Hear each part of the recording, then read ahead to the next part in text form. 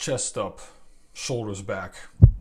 Welcome to Revival Fitness, everybody. And today I'm going to give you guys five reasons that you are struggling to get strong.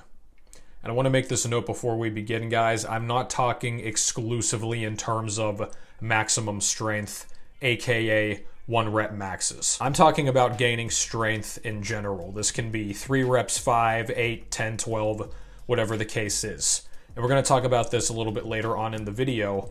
But even if you only care about aesthetics bra or hypertrophy, whatever the case is, you still fundamentally have to get stronger in some capacity to keep getting bigger. I don't understand why it's so hard for people to wrap their head around this, but if you believe that size and strength are these two totally foreign concepts, you're not very intelligent. And really, unless you compete in strength sports, there's really no need to max out ever. Now, I do it myself too. I know it's very fun to do, especially as young guys. You're going to max out, there's no stopping the ego component of it but there's really no need to max out from a tangible perspective unless you are competing in, say, powerlifting, strength lifting, or something like that. And one last note, too, here, guys strength progress, at least outside of the novice phase, is not going to be totally linear. Okay? If you're at the point now where you're benching around like maybe 200 or two plates or so, squatting 300, kind of general ranges like that, you're like, I can't keep adding plus five to the bar every week well, you're not supposed to be, right? You're not a novice anymore. Once your initial beginner gains fully wear out, guys, you're not going to be able to keep adding the even plus five every single week. If that was the case, people would be out here deadlifting literal tons of weight. So outside of the novice phase, guys, and that's going to vary per person based on leverages, kind of genetic strong points, things like that. So based on the individual, this is going to vary in some capacity. But fundamentally, guys, once you're out of the newbie gains phase, your progress is inevitably going to get slower. So don't think that you're doing something massively wrong just because you can't keep adding plus five indefinitely. Now, with that said, though, if you are a novice, which is what most of you are going to be, demographically speaking, if you're unable to add plus five on a weekly or at least pretty regular basis to your lifts, something's going pretty wrong here, dude. So let's dive into the reasons why this may be happening for you. Sign number one here short rest times. And let's just take a second here to forget all of the science based stuff on YouTube and on social media fitness today. Just use your thinking cap, okay? Use your common sense. Will resting longer after a set give you more energy for the next set? Pretty obvious, right? Actually, I need to see a study citing that this is the case it's obvious, bro. The more rest you give yourself in between your sets and also your exercises in general, the more energy you're going to have down the line. Now, I'm not saying here that you need to be taking naps in between sets like some power lifters do. You don't need to be resting for 7, 8, 9, 10 minutes, okay? But for your heavier exercises, especially, guys, particularly if you do focus on strength, the low rep ranges, resting for three up to five minutes in between your sets is perfectly fine. In some cases, you could even argue that it's necessary. A clear trend you will notice in gyms is this the guys who take shorter rest periods are almost always weaker and smaller than the guys who rest longer. And the funny thing is, the small and weak guys think that short rest times are inherently better because the pump stays with the shorter rest times. Guys in the gym who obsess about getting the pump do so because they're small. So they have to get the pump because it's the only time that they actually look big. The pump goes away a few minutes after your workout ends. Real muscle and strength that you build in the gym stays with you 24 7. And real muscle and strength is built in the trenches, not in the mirror. Okay? Guys, you want to get to the point where you can roll out of bed in the morning, totally flat, no food and no pump, and be bigger than your clueless gym bro when he has a pump. So, regardless of the rep range that you are using, gaining strength fundamentally stems from two primary things. The first is becoming neurologically efficient at a movement through consistent form and range of motion. You guys might notice whenever you watch powerlifters on Instagram or on YouTube, whenever they perform their lifts, they always look exactly the same. Like you could clip together weeks of training footage of the same lift and it barely looks any different. That's not a coincidence. The more neurologically efficient you get at a lift, the more you can hammer down the form and make it second nature through the full range of motion, that's where the sweet spot is. So, assuming that you're becoming neurologically efficient with the exercises, you're not always relying on spotters, your form can be performed with your eyes closed at second nature. The next thing you have to worry about is gaining muscle mass so that your strength can perform at its fullest potential. And then, of course, these same guys will cherry pick some 1% example of some small guy or some tiny woman benching three, four times their body weight, deadlifting six times their body weight. Once again, guys, like I always say, open challenge for you. Do it yourself, okay? As a dude, stay 150 to 160 pounds and tell me whenever you bench 315. It's not going to happen. So, going back to the main point, whether you're doing a one rep max or a 12 rep set, whatever the case is, by rushing through these rest times, you are artificially handicapping your own strength. And this is especially true for the biggest and heaviest lifts that you do. Squat variations, types of deadlifts, bench presses, overhead presses, things like that, kind of the bread and butter of your training program for most people, or at least it should be. Rushing through those is not good at all.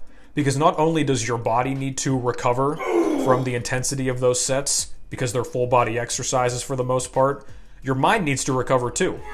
Right? Those type of things are mentally taxing, right? Your core's bracing, gripping the weight, all your internal cues, all this stuff.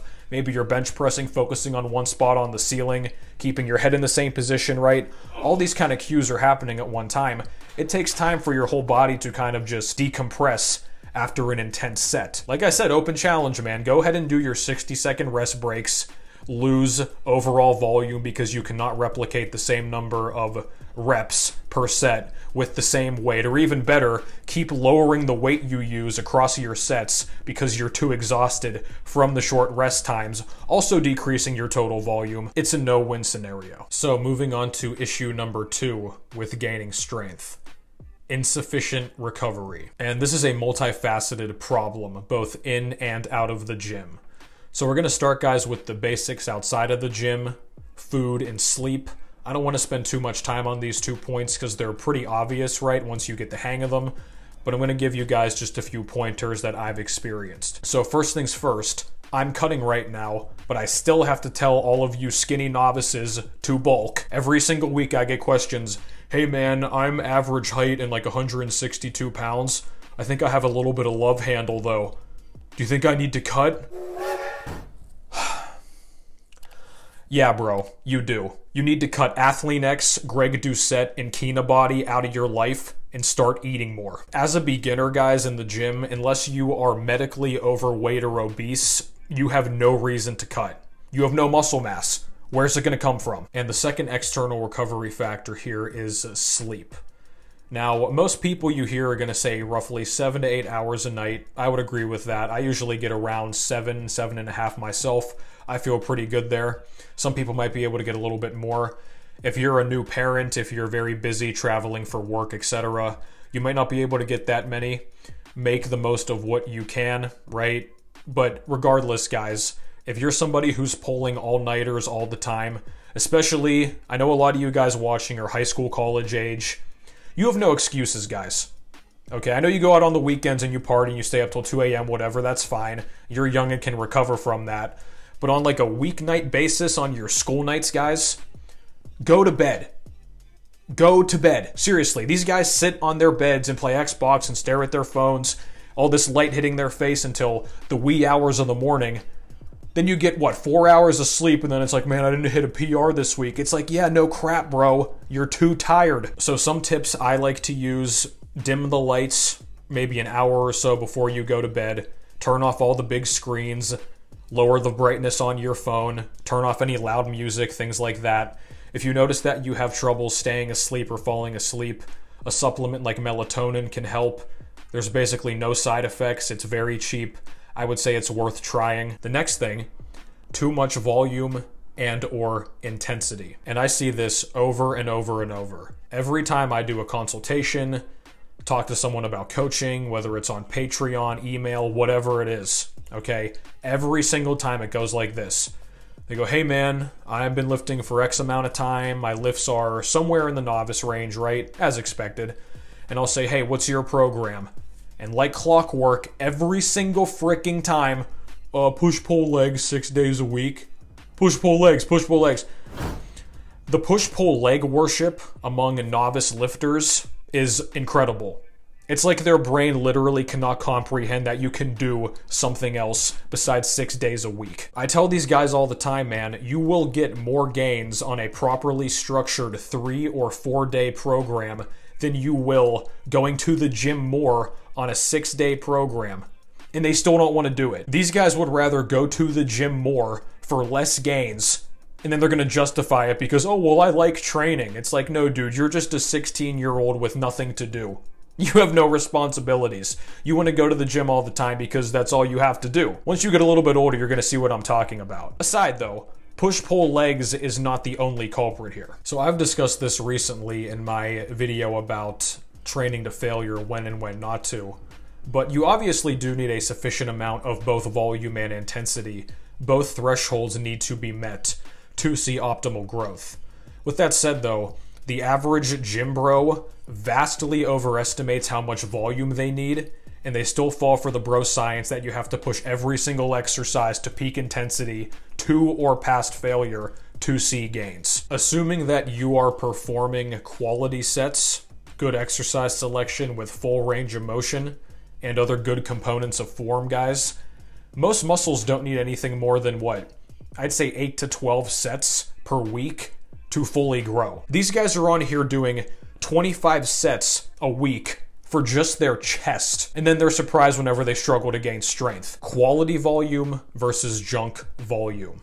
Okay? And I'll say this, guys. If you're doing legitimate quality volume, as I mentioned, full range of motion, good exercises, all this stuff, you should not even have the energy to do junk volume. And on top of that, too, you shouldn't even have the time. Okay, guys, if you're in the gym multiple days a week for three plus hours, you need to get a job. Some of these guys are in the gym three plus hours. They're doing 10, 12, 15 exercises in one day. And quick note here, too snorting a bunch of pre workout before you lift like a crackhead is not helping your case either. I'll tell you this, guys. If you've been in the gym for an hour or more, you've already done one, two, three exercises, and you're barely fatigued, you're still amped up, ready to hit a bunch of machines and other exercises, your training needs a complete overhaul. If you perform quality volume now with proper form and all that other stuff attached to it, you know that only a handful of exercises per muscle group per week is more than enough to see size and strength gains. So if you're one of these guys who's going all out on the intensity and or the volume on a weekly basis because you think it's hardcore macho bra, you think you have to do it to get results, don't be surprised when the bar sticks again. So those first two points were pretty extensive, but there are three more. And before we get to them, ladies and gentlemen, it's the algorithm.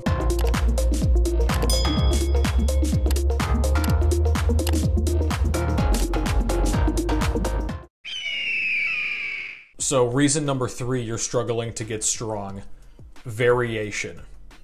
And this is kind of an open ended point because there are two sides of this spectrum. A lot of people end up doing too little variation for their own good, while others end up doing too much. So, on the point of too much variation, that's kind of like what we've been talking about, right? The junk volume, go from the dumbbell to the machine to the barbell to the second machine to the push up, all this stuff, right? They can never focus in on one movement pattern for a prolonged period because their mind doesn't let them because they think, oh, I have to chase the pump and do everything except the kitchen sink to get a muscle to grow. Now, on the other hand, a lot of beginners who find actual decent programs like StrongLifts, something like that, starting strength, kind of a basic three day full body template.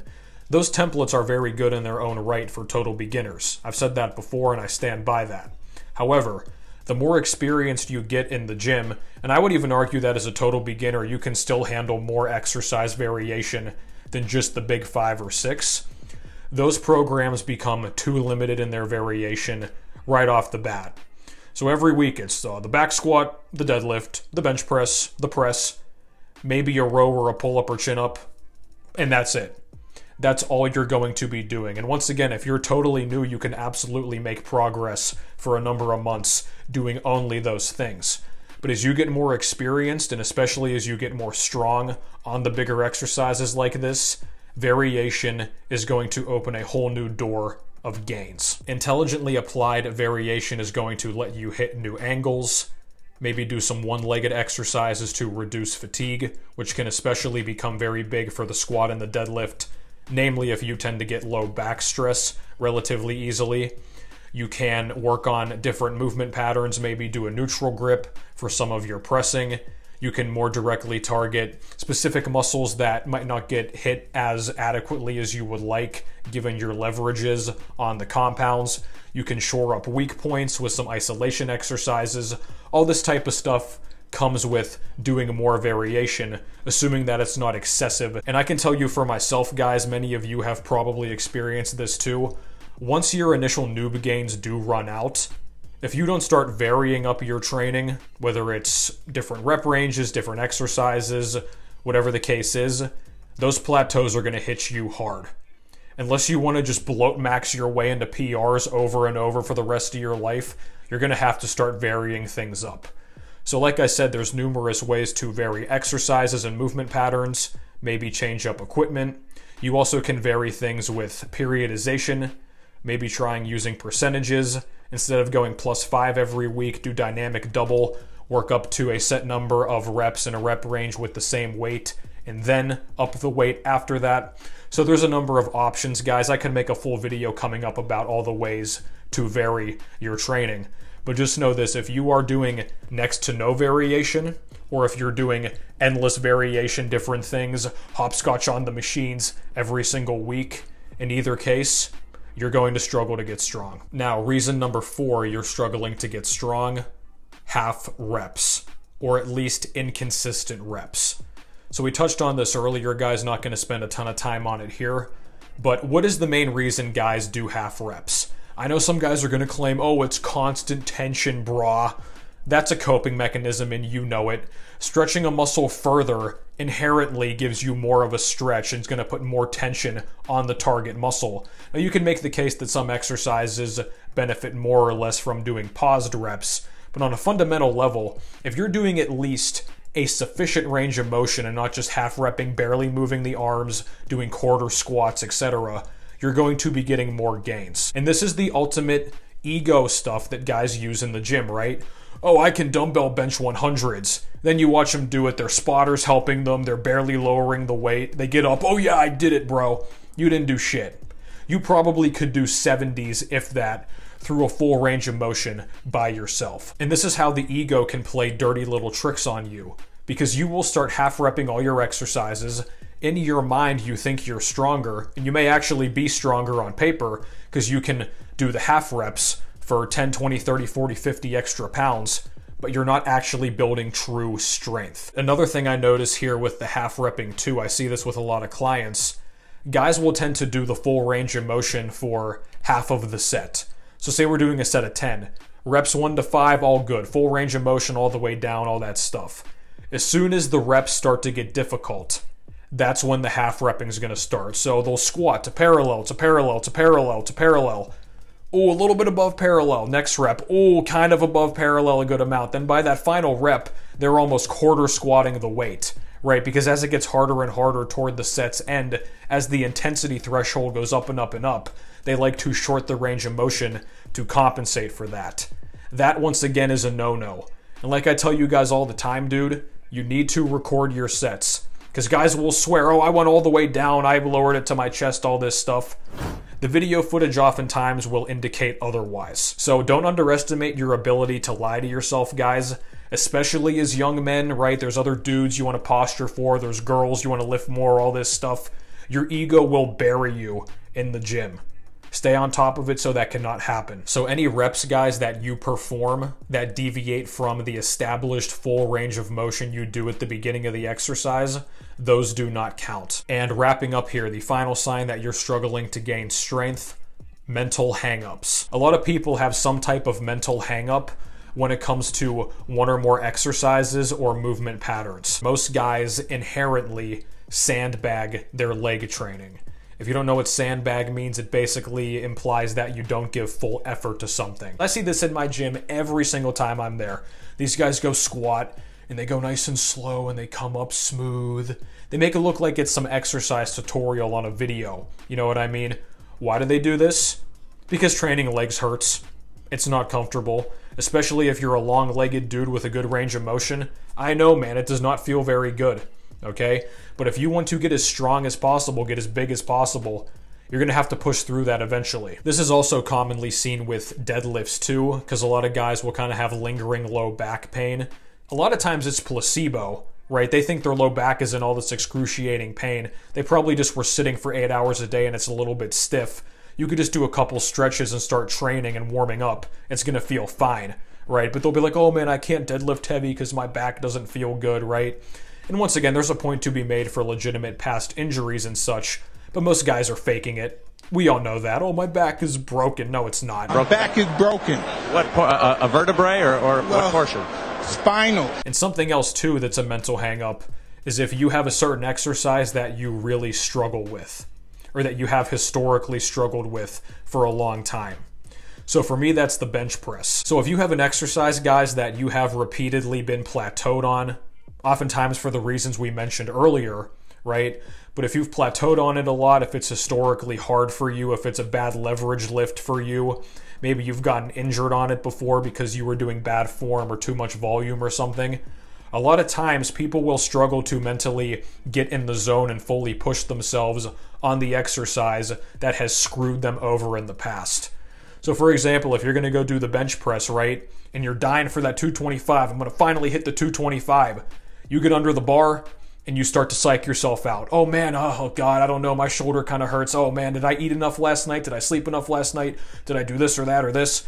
You start to mentally psych yourself out and basically nocebo yourself into losing strength. And this can be difficult to overcome, right? This is usually not something you can just snap yourself out of or watch one motivational video or do your pre workout bra or take your nootropic and suddenly get better at it.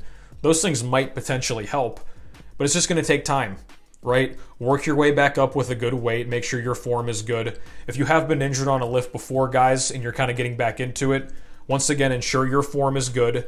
Test out lighter weights. Don't just dive back into the heavy weight to get vengeance on it. You see what I mean? But there is a way to overcome this mental blockade, so to speak. And guess what it is? Intelligent training quality volume, proper recovery. Just basically rewatch this video. But if you have that mental blockade now, guys, and you think it's insurmountable, I can promise you it's not. If you tend to mentally zone out and kind of doubt yourself and all this stuff, it is going to be harder on you than it needs to be. And I am happy to help you with that. So if you guys are looking for consultations about your own training, custom programs, full online coaching, including weekly form checks, all this good stuff, I'm happy to help you out. Just hit me up, links in the description of the video. We'll get to work. But this has been the video, guys. I don't know how long this is going to be. Probably a while. I've been talking here for a hot minute now. But thank you for watching. Thank you, as always, to the Patreon supporters and the channel members. Like, comment, subscribe, as you're obligated to do as a loyal viewer of this channel. Thank you for watching. I think I already said that. I need to go eat something. I keep talking, and I'm going to stop talking. Take care.